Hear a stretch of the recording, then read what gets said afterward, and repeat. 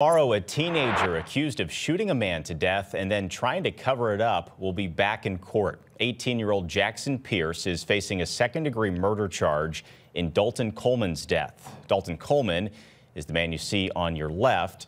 Pierce admitted to shooting Coleman 14 times after a fight. And according to him, he and a juvenile cleaned up the crime scene. Officers later found Coleman's body rolled up in an air mattress. Coleman's family has launched a GoFundMe. He left behind a six-month-old son.